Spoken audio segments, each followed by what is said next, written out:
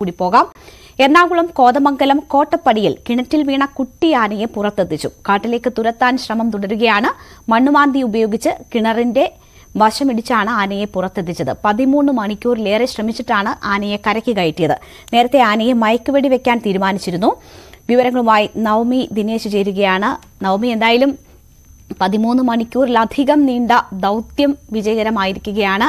ആനയെ കാട്ടിലേക്ക് തന്നെ തുരത്താനായിരുന്നു തീരുമാനം. ആനയെ തുരത്തിയോ? എന്താണ് അവിടെ നിന്നുമുള്ള വിവരങ്ങൾ?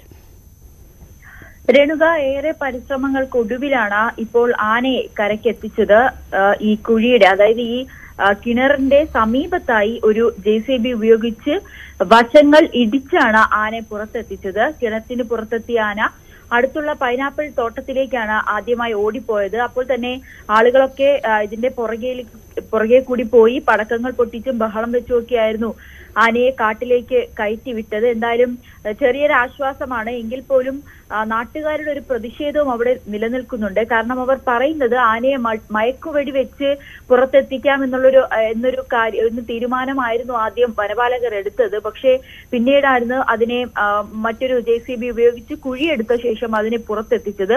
അതിൽ ചെറിയൊരു പ്രതിഷേധം നാട്ടുകാർക്കുണ്ട്. കാരണം ഇവ വീണ്ടും തിരിച്ചെത്തും. അത് ഇവരുടെ ജീവിതത്തിൽ തന്നെ ജീവിതത്തിന് തന്നെ വീണ്ടും വെല്ലുവിളിയാകും എന്നുള്ളൊരു സാഹചര്യം ഉള്ളതുകൊണ്ട് അതിന്റെ ഒരു പ്രതിഷേധവും നാട്ടുകാർ അവിടെ രേഖപ്പെടുത്തുന്നുണ്ട്. എന്തായാലും വനപാലകരെ അടക്കം നാട്ടുകാർ അവിടെ തടഞ്ഞു വെക്കുന്ന ഒരു സ്ഥിതിയായിരുന്നു. എങ്കിൽ പോലും വളരെ പ്രയാസപ്പെട്ടാണെങ്കിൽ പോലും മണിക്കൂറുകൾ നീണ്ട പരിശ്രമങ്ങൾക്കൊടുവിൽ ആനയെ കരയ്ക്ക് എത്തിച്ചിരിക്കുകയാണ് ആന ഇപ്പോൾ വനമേഖലയിലേക്ക് തന്നെ പോവുകയും ചെയ്തിട്ടുണ്ട്.